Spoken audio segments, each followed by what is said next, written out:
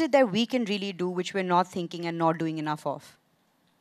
I, I really want to echo the comments about the full stack approach. Um, India is an incredibly important market for AI in general, for OpenAI in particular. It's our second biggest market, tripled users here in the last year.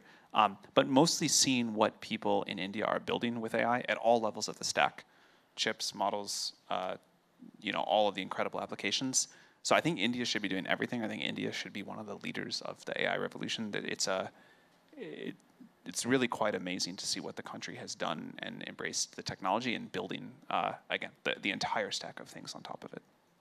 And also with the you know recent uh, developments, uh, you know, do you have a different view around the cost of building foundational models?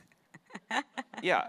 Um, so first of all, if that's a if that's a reference to a comment I made here a few years ago about the cost, uh, I think that was taken out of context. Um, that was a very specific time when there was a certain scaling thing where I thought, you know, it's gonna, and I still think to stay on that frontier of pre-trained models is expensive, but one of the most exciting things that's happened to me since, that I think has happened in the industry since, is we're now in a world where um, we made incredible progress with distillation. We learned a lot to do small models, and these reasoning models in particular can be, it's not cheap, it's still expensive to train them, but it's doable.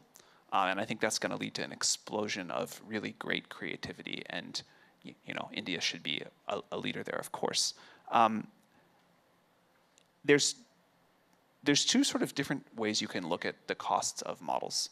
So to stay at the frontier, um, we believe those costs will continue to rise on this exponential curve, but also the returns to increasing intelligence are exponential in terms of the economic value, the scientific value that you can create. Um, so, you know, we're doing this big Stargate project, and that's going to go like this.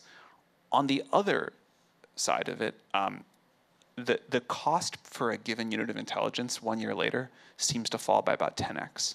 Moore's law was a 2x every 18 months for the number of transistors on a chip, and that changed the world if you waited a few decades. But what's happening with the reduction in cost in AI models is, is extraordinary. Now, I don't think it means that the world's going to need any less AI hardware because you bring the cost down and just the people are going to use it for a lot more things. The total number of dollars will go up. But, uh, you know, it, that's, a, that's a really exciting thing happening. That's that's uh, wonderful to hear, and I think there's a lot of excitement here, which is why you know. So I'd like to come to you. You know, we you recently announced that India should be building foundational models, and you know it's a very complex process. And I was just wondering, you know, how are you're thinking about you know the, the surprises and the serendipity that's going to come from a lot of the uh, diversity that we have here and the complexity of just India. And so you know, how do you feel that the the foundational models that we are that India is planning to build uh, is going to be unique and serve a unique purpose? Uh, to the world? Listen, lots of innovation is happening. As Sam said, every year it's 10x uh, reduction in the cost of intelligence. That kind of innovation can, can come from anywhere in the world. Why shouldn't it come from India? That's the point. Sure. And our uh, young entrepreneurs, our startups, our researchers, they are really, really focused on getting that next level of innovation, which will reduce the cost.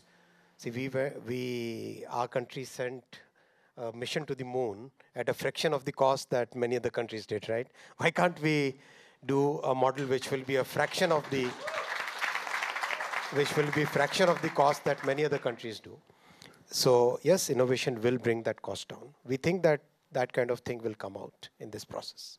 Absolutely, and you know, just the diversity that we have here. I think you know, at OpenAI, often we say that you know, if you can solve uh, for India, often you can solve you know for the world as well. Because if you're able to take care of the the the breadth that we have and be able to solve for the last mile, uh, often you can you know very much do that. And you know, also you've spoken extensively about the you know the excitement that you have around building on application layers. And, you know, and since we have developers and startups in the room, I think this could be a great uh, space or a great platform for you to share what do you really think are you know areas that they should really be thinking about, and also not only supporting on the application layer, but also your adoption just within the government. How are you really looking at that AI adoption within the government? That's a good question. We have been uh, using multiple AI applications within large, I mean, uh, so many different departments, so many wings of the government. Um, and uh, I think that that can really help us solve these population scale problems because most of the problems we face, Sam, are problems where you have to look at a multiple of billion So, which is like very common. So then how do we solve these population scale problems? That's where our focus, of course, is on all the three layers and within the applications in healthcare, in education, in agriculture, in weather forecasting, in disaster management, in transportation, multiple different things we are working. And the, I request the entire startup community to come up with uh, very unique solutions and uh, we'll be open. We are very soon starting a kind of open competition for it, open empanelment competition kind of thing. So that will be huge. So many problems can be solved and why don't we use this latest technology that we have for solving these problems, right? You guys are good with that? Would love to, love to do. Some more energy, guys. Come on. Amazing. Um, you know, just building on that, uh, uh, you know, Sam, I'd like to come to you, talking about population scale problems, as the minister said. You know, again, India is very placed for, very well placed for that, and and our mission really is, you know, artificial general intelligence for all of humanity. And so, I'm really curious to understand from you how can the models and the tools that we are constantly releasing play that equalizer role and be able to really fulfill in healthcare, education, at you know really significant ways?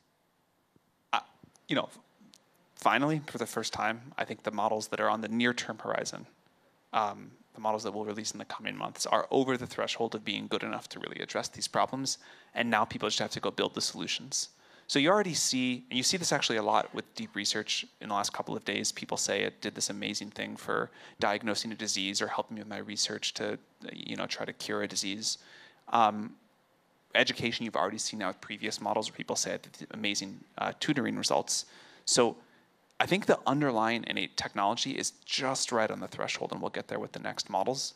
But now people have got to go off and build all these services. So someone in this room hopefully will figure out what the AI tutor of the future looks like, and you know that'll be a population scale thing, and it'll think what that would do if every kid on Earth, you know, this year got uh, got an AI tutor that was provided like a better education or helped to provide a better education than anybody could get last year. Um, think what it would mean if we could have like an AI medical diagnosis system that was better than anyone could get last year. Um, think what it would mean if scientists could go cure every disease faster. And so you know, we've been waiting for this moment for a long time. Um, I think we're going to deliver something that can help with it, and now people have to go go build with it. Absolutely, and I think the recent uh, launch of uh, deep research was just incredible, right? And I think everyone's been tracking it closely. We want to be able to use it. Do you have any advice specifically if we were to use that uh, to solve, you know, very complex problems like cancer and, and large diseases that we that we suffer? Do you have any sort of guidance on what's the right way to start experimenting? So we're, we're very much still in the research assistant phase of this. Um, this can help someone, uh, you know, review the existing literature and find some connections. But this is not an innovator yet. This is, I, I don't think we're yet at the technological level where any of us should expect these models to go cure cancer on their own. We will get there, I think. Yes. Um, but for now, uh, y- you know, this can just, I think this can help people, help researchers say, be much more productive in what they do. Absolutely. Um, I also just want to ask you, you know, what would India has an aspiration to have a voice and be in, you know, the top uh, global countries contributing towards AI.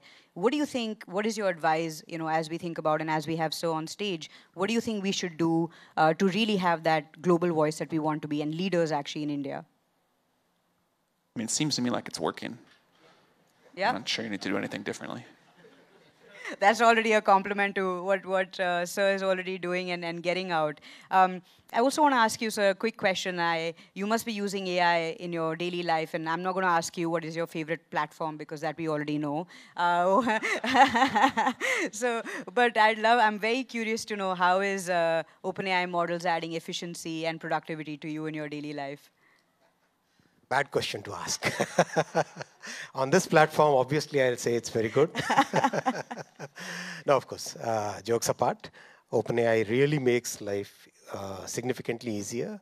Um, writing notes, getting all that stuff out, it becomes very easy. And getting the, I was just curious, what would your research project mean for quite a lot of people?